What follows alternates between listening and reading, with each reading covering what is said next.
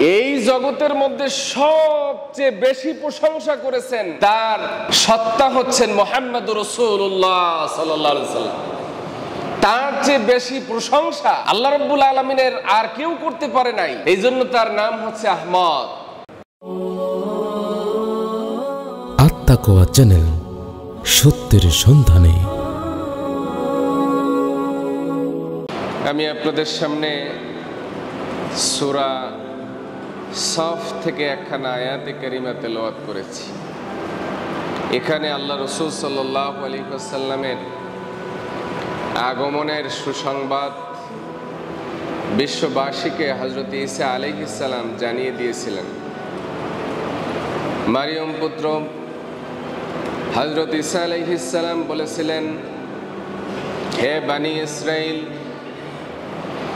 আমি তোমাদের নিকট আল্লাহ রসুল আমার পূর্বে তোমাদের নিকট যে তাওরাত কিতাব আছে, সেই তাওরাত কিতাবের আমি হচ্ছি সত্যায়নকারী। আর আমার পরে একজন নবী আগমন করবেন, সেই নবীর সুসংবাদদাতা হচ্ছি আমি। সেই নবীর নাম কি? মোহাম্মদ সাল্লাহ আলহাসাল্লাম কিন্তু ঈসা আলহিসাল্লাম বলছেন যে, আমার পরে যে আহমদ নবী আগমন করবেন আমি তার সুসংবাদদাতা। পরে ঠিকই সেই নবী আগমন করলেন।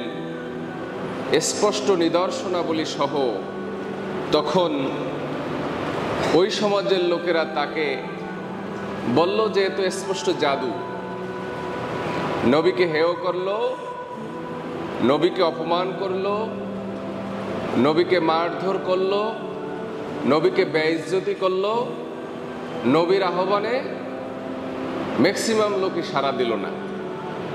অথচ যেই নবীর কথা আগেই কেতাবে বর্ণিত ছিল, অন্যান্য ধর্মের যে সমস্ত কিতাব, সে সমস্ত কিতাবই এই নবীর আগমনে সুসংবাদ ছিল। তারপরেও নবীর সাথে আচরণ করা হয়েছে। মহান আল্লাহ সুবাহ মানুষের হেদায়তের জন্য দুনিয়াতে অগণিত অসংখ্য নবী এবং রসুল পাঠিয়েছিলেন। এবং একজন নবীকে আর একজন নবী দ্বারা সত্যায়ন করেছেন, মজবুতি দান করেছেন। কোনো কোনো সময় একজন নবীর জায়গায় দুইজন নবী, দুইজন নবীর জায়গায় তিনজন নবী পাঠিয়ে একটা শক্তি, সামর্থ্য নিয়ে দিন প্রচারের জন্য আল্লাহ সুবাহানা হুয়া তালা প্রেরণ করেছেন। একজন নবী রাসুল তার নবী রাসুলকে সত্যায়ন করেছেন, মজবুতি দান করেছেন। নবী রাসুল আগমনের এই ধারাবাহিক নিয়ম পৃথিবীর সৃষ্টির শুরু থেকেই ছিল। পৃথিবীর সৃষ্টির শুরুর যে মানুষ, সেই মানুষটি ছিল নবী। নাম কি? আদম আলহিসাল্লাম থেকেই নবী এবং রসুলের এই ধারাবাহিকতা চলে আসছিল আর কেয়ামত পর্যন্ত সেটা থাকবে। কেয়ামত পর্যন্ত কীভাবে থাকবে? রসুল তো আর নতুন করে আসবেন না, তাহলে কেয়ামত পর্যন্ত কীভাবে থাকল? আমাদের যে নবী মোহাম্মদ রসুল্লাহ সাল্লাহ আলহাসাল্লাম এই নবুয়াতের পিরিয়ড হচ্ছে কেয়ামত পর্যন্ত। কেয়ামত পর্যন্ত আর কোনো নবী আসবেন না, বিদায়। সৃষ্টির শুরু থেকে শেষ পর্যন্ত নবী দ্বারা নবুয়াতের টাইমিংটাকে আল্লাহ তালা সেট করে দিয়েছেন সোবান আল্লাহ বলেন। কখনো রসুল নতুন হিসেবে আগমন করেছেন, কিতাব নিয়ে আগমন করেন নাই, আবার কখনো কিতাব নিয়ে আগমন করেছেন, যারা কিতাব নিয়ে আগমন করেন নাই, তারা যারা কিতাব ওলা নবী ছিল, রসুল ছিল, তাদের অনুসরণ করেছেন সোবান আল্লাহ বলেন। যারা কিতাব নিয়ে আসছে, সেটা হচ্ছে গত সপ্তাহে বলছিলাম যে রেসালা, যখন সে চলে গেছে, তার উপরে নতুন করে কোনো বিধিবিধান না আসলে সে ওই নবীরই একজন প্রচারক। ওই নবীরই অসমাপ্ত কাজ সে পরিচালনা করবেন। হাজরতে আদম আলহিসাল্লাম থেকে শুরু করে সকল নবী এবং রসুলগণ একটা বিষয় খুব সুস্পষ্ট করে জানতেন। আর তা হলো মোহাম্মদুর রসুল্লাহ সাল্লাহ আলহাসাল্লাম পূর্ণাঙ্গ দিন এবং শরিয়াত নিয়ে দুনিয়াতে আগমন করবেন নবীর দিন এবং শরিয়াত হচ্ছে কমপ্লিট, এর মধ্যে কোনো অপূর্ণতা নাই আল্লাহ বলেন। আল্লাহ রসুল সাল্লাহ আলহাসাল্লামের পূর্ণাঙ্গতা নিয়ে বিদায় হজের ভাষণে আল্লাহ রসুল সাল্লাহ আলহাসাল্লাম উপস্থিত জনসাধারণের কাছ থেকে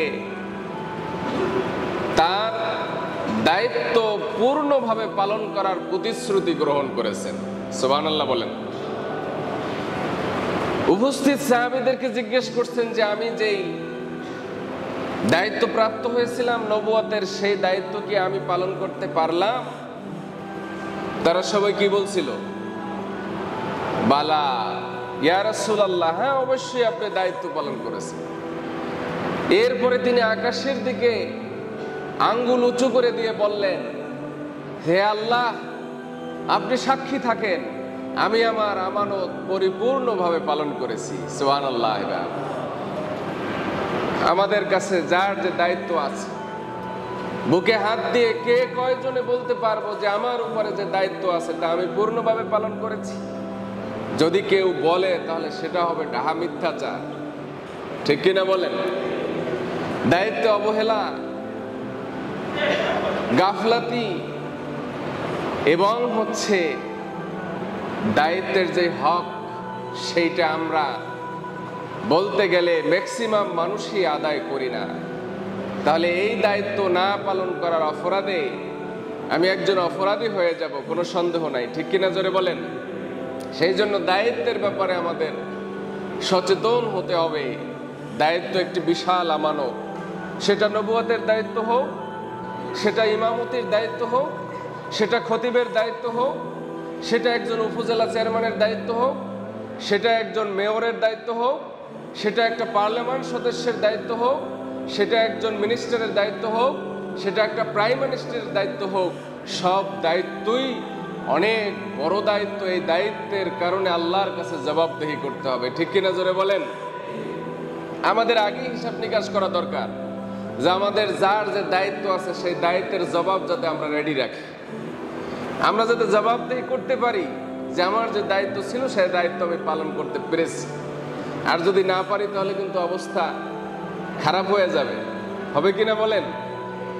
তো যাই হোক, মোহাম্মদ সাল্লাহ সাল্লামের শ্রেষ্ঠত্ব সকল নবী এবং রসুলগণের নিকট প্রতিষ্ঠিত ছিল। তিনি হচ্ছেন ইমামুল মুরসালিন। তিনি হচ্ছেন নবীদের নবী। সুবান বলেন হজরত ইসা আলাই ইসলামের সুসংবাদে মোহাম্মদ সাল্লাহ আলাইসাল্লামকে আহমাদ বলে পরিচয় করিয়ে দিয়েছেন। আহমদ শব্দের দুইটা অর্থ। কয়টা অর্থ? মনে রাখবেন আপনারা আমাদের নবীর নাম কি? এভাবে না বলবেন? তাহলে আমাদের রসুল খুশি হয়ে যাবে। সুবান আল্লাহ বলেন।